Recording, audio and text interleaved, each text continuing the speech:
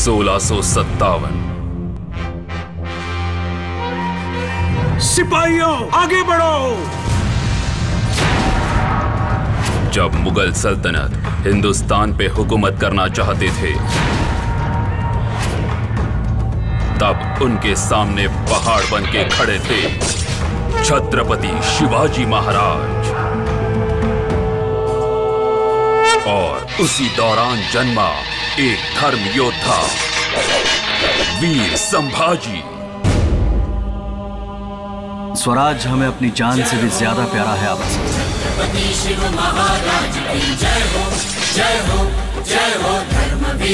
छत्रपति की गद्दी ये किसी की जागीर नहीं है। इस पे बैठना है। तो अपने आप को साबित करना होगा। हम पिता पुत्र को एक दूसरे से अलग करने की साजिश चल रही है। भरे दरबार में हम पर आरोप लगाया जा रहा है। जब तक वो संभा पकड़ा नहीं जाता हम हिंदुस्तान के बादशाह का ये ताज सर पर नहीं रखेंगे।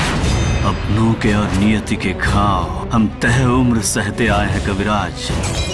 सभी रास्ते शत्रुओं ने रोक लिए हैं राजे।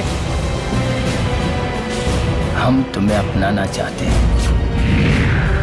अगर हर मराठा संभा जैसा होगा तो हम दखन में कभी राज नहीं कर पाएँगे। हमारा एक एक मामला उन सैकड़ों सैनिकों पर भारी पड़ेगा। खौफ मरने का किसको दिखाता है कमज़ोर? मौत जिनके मुट्ठियों में कैद हुआ करती है।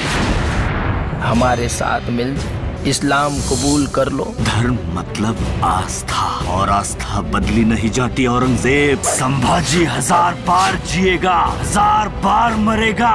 मगर हिंदू धर्म नहीं छोड़ेगा।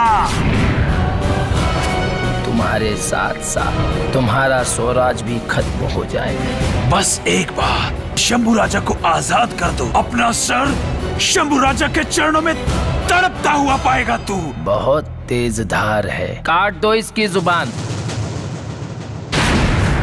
क्योंकि हम पर किया हर घाव मुगल सल्तनत के तबाही और बर्बादी का कारण बनेगा औरंगज़ेब।